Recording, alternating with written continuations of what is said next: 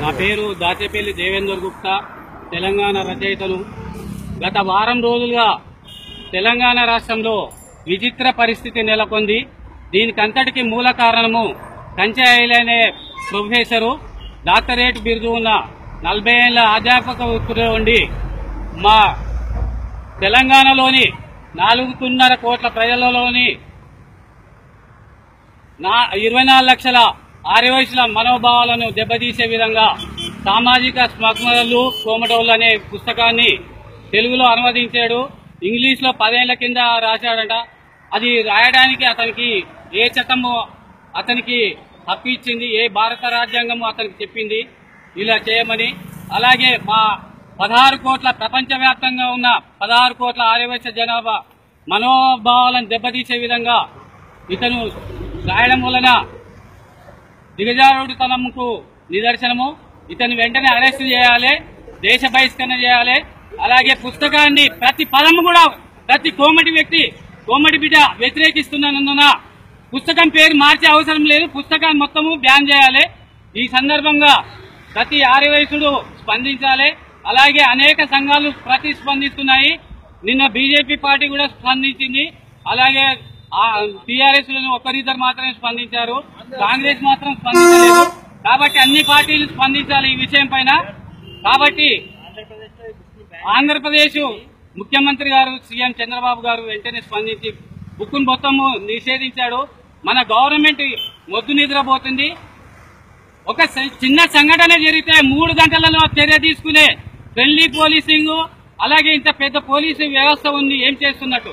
అంటే కంచాయిలేయకు కాపల కుక్కగా పనిచేస్తుందా ఈ వ్యక్తిని కాపాడటానికి ఈ గవర్నమెంట్ ఎందుకు తాత్సారపడుతుంది వారం రోజులు ఇలా అనిశ్చిత పరిస్థితి నెలకొంది. మేము మాత్రం ఒక మూడు రోజులు టైం ఇస్తున్నాము. కంచాయిలే గారు కానీ కేసీఆర్ గారు వెంటనే స్పందించాలి. ఎందుకంటే ఇలా చేస్తే మాత్రం మేము మా పోరాటాన్ని ఉధృతం చేస్తాము. గాంధీజీ మార్గంలో శాంతియుతంగా ప్రజాస్వామ్య పద్ధతిలో మాత్రమే మా కోమటోళ్ళు ఏ ఉద్యమమైనా చేస్తారు. మా కోమటి జాతి ఏ కుల సంఘాలకు వ్యతిరేకం కాదు ఏ అధ్యాపకులకు వ్యతిరేకం కాదు ఈ తెలంగాణ గవర్నమెంట్ కూడా వ్యతిరేకం కాదు. ముందు ముందు మాత్రం ఇలా వ్యవహరిస్తే మాత్రము మా సత్తా ఏమిటో మేము కోమటి బిడ్డలము ఆర్యవయసులము మాంసం తినాలి. ఎందుకు తినాలి? రమ్మనండి. చైనాతో యుద్ధం చేసే మాంసం తినాలా? గాంధీజీ పోరాటం చేసిండు స్వాతంత్రం తెచ్చిండు. అది తెలియదు అతనికి. ఇన్ని కోట్ల మంది ఆర్యవైశ్య ప్రతినిధుల బిడ్డ. నెల్లూరు పొట్టి శ్రీరాములను చూడండి. అతను ఆర్యవైశ్యుడే. ఏం దీన్ని చేశాడు? ఆమరణ నిరాహార దీక్ష చేసి అందరికీ ఆదర్శంగా నిలబడ్డారు. సమాజంలో ఆదర్శంగా నిలబడే ఏకైక కులము ఆర్యవైశ్య కులం. జై సావుకారి! జై జై సావుకారి! జై లేదు వెంటనే అరెస్ట్ చేయాలి. కంచాయి లేదు. కేసీఆర్ గారు వెంటనే స్పందించాలి. కేసీఆర్ గారు!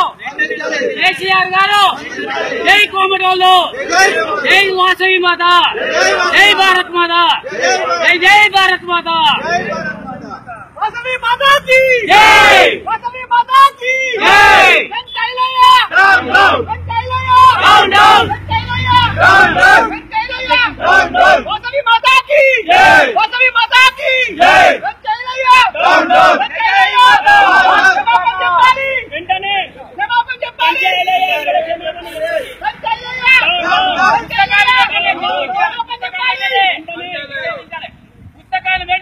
పుస్తకాలు వెంటనే పేరు మార్చే అవసరం లేదు. పేరు మార్చే అవసరం లేదు.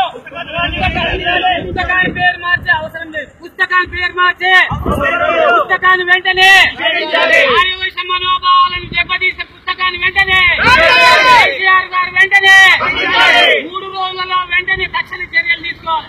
మూడు రోజుల వెంటనే కేసీఆర్ గారు వెంటనే జై మాత వాసవి మాత జై మాత వాసవి మాత! జై మాత వాసవి మాత! జై మాత! వాసవి మాత! వాడమ్మడి వీడమ్మడు కోమిడోల గడ్డోడు వాడమ్మడి వీడమ్మడు కోమిడోల గడ్డోడు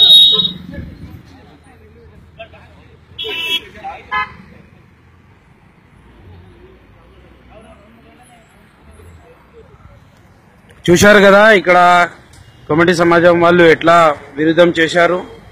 ఇది చాలా తప్పు పని అని వీళ్ళకు చాలా హట్ అయింది మనుషులకు. ఇది తొందరగా నిషేధించాలని. మరియు కేసీఆర్ గారికి కూడా ఇది.